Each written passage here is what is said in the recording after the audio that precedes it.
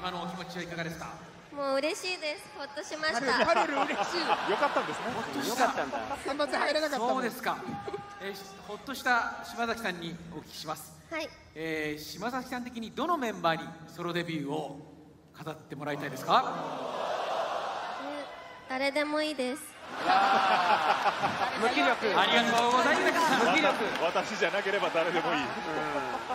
それではそのテンションでよくあの衣装をチョイスしました